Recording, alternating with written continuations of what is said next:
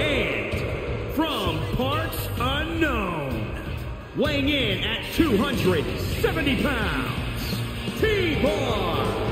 Quickly rising in the tag division with Mace, one of the most imposing duos in WWE. Yeah, but let's not gloss over the fact that T-Bar can also hold his own in singles competition as well.